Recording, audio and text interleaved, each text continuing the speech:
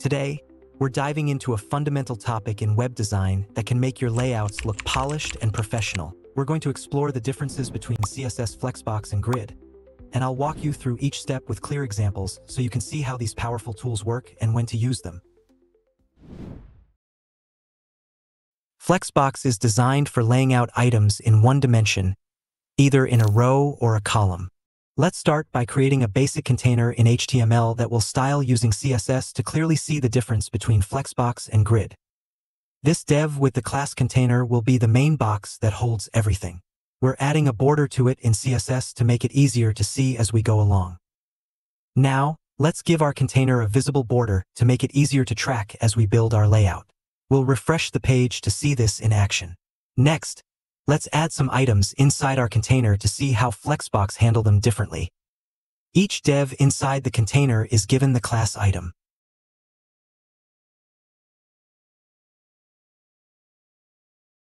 We'll add some style to these next.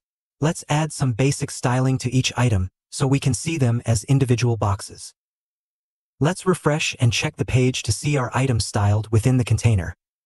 Now let's apply Flexbox to our container. This will help us see how Flexbox distributes items in a flexible way. Display. Flex. This turns our container into a flex container. Items inside will align on a single row by default. Before we continue, let's talk a little about the main axis and cross-axis. Let's see the difference between the main axis and the cross-axis. Items in Flexbox are arranged horizontally or vertically depending on whether you specify row or column for your flex direction. This main direction is what we call the flex item's main axis. The perpendicular direction is therefore the cross-axis. If the elements are arranged horizontally in a row, the main axis is horizontal and the cross-axis is vertical. If the elements are arranged vertically in a column, the main axis is vertical and the cross-axis is horizontal. Now that we understand that, let's continue. Exploring Flexbox properties Flex Direction. The Flex Direction property controls the direction items are laid out. Row, default items are arranged in a row, left to right. Column, items stack vertically.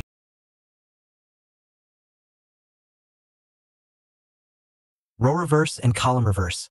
Arrange items in reverse order.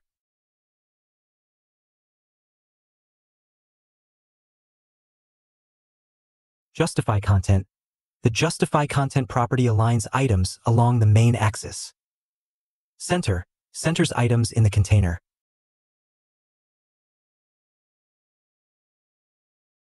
Flex start aligns items to the start. Flex end aligns items to the end. Space between. Spreads items with space between. Space around. Spreads items with space around them. Since we're about to use the Align Items property, which works along the cross-axis, I'll set a height of 100 pixels to help you see the effect as we try out different values for. Align Items aligns items along the cross-axis perpendicular to the main axis. Let's try some values 1 to see how items align differently within the container. Center aligns items to the center on the cross-axis. Stretch default stretches items to fill the container height. Flex start and flex end aligns items to the start or end. Now that we've explored Flexbox, let's turn our focus to CSS Grid. If you're enjoying my approach to explaining these concepts, Consider subscribing to my channel, giving a thumbs up, and sharing the video with others. CSS Grid is especially powerful for creating complex, two-dimensional layouts that involve rows and columns. First, let's create a basic HTML structure. We'll start with a container dev and add four items inside it. Each of these items will fill one cell in our grid layout.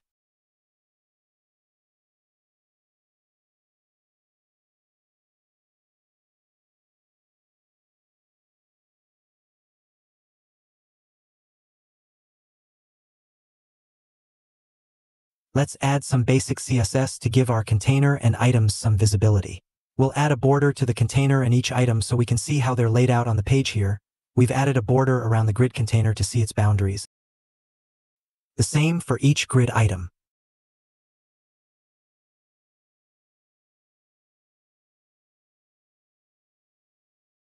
Now, let's refresh the page to see what this looks like.